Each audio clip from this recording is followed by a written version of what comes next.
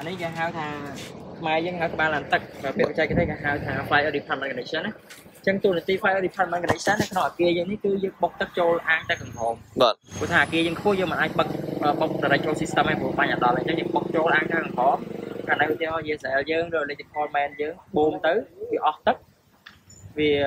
វាអស់ទឹកអញ្ចឹងទៅឡានទឹកមកពីសាធារណៈឡានទឹកមកវាវាបុកក្បាលវាបុកទឹកចូលចូលក្បាលនេះអញ្ចឹងខាងប៉ូលីសគាត់ជំនាញហ្នឹងបុកចូលអញ្ចឹងគេគាត់ដោតគេមានឧបករណ៍គេដោតចូលហើយឧបករណ៍គេមកដោតចូលក្នុងក្នុង system អឺ